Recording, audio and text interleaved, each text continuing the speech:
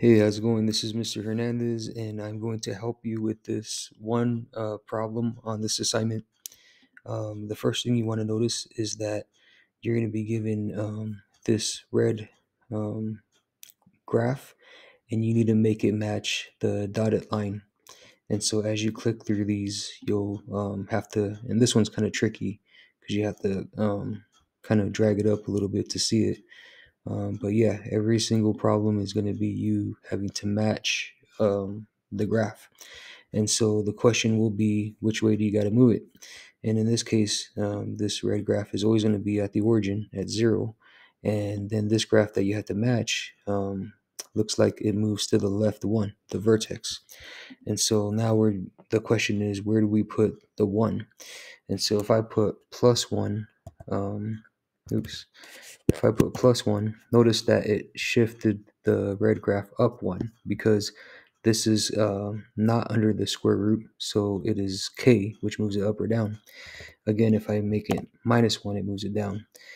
But in order for it to move left and right, I have to make sure that I add or subtract um, under the square root. And so notice that um, if I if I have my cursor um, right here, it's outside the square root. But if I have my cursor blinking right next to the x under the square root, and I put minus 1, uh, then you can see it, moves it left and right. Now, um, remember when it's the h and it's under the square root with the x, it's the opposite. And so minus 1 actually moves it right 1. But if we want to move it to the left 1, uh, we're going to have to go ahead and add 1. And there it is. That's the match.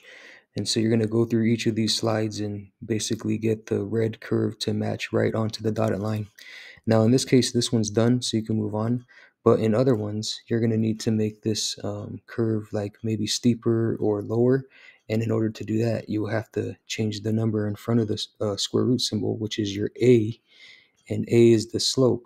And so if I make a negative, it flips it upside down. Um, if I make a uh, greater than 1, it makes it go um, steeper. And so you might need to do that.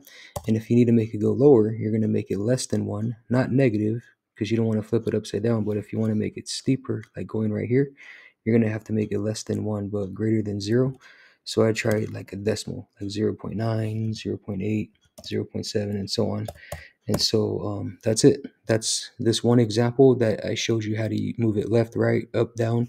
And then in this case, um, you might need to flip it upside down or make it um, uh, steeper or, or lower. Okay, good luck.